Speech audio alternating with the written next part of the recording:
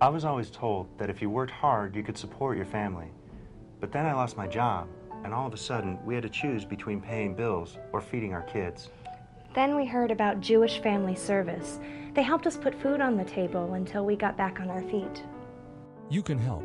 Donate your vehicle to Jewish Family Service, a nonprofit organization that helps everybody. We'll turn your vehicle into programs for people who need us. At Jewish Family Service, they're helping people every day, just like they helped us.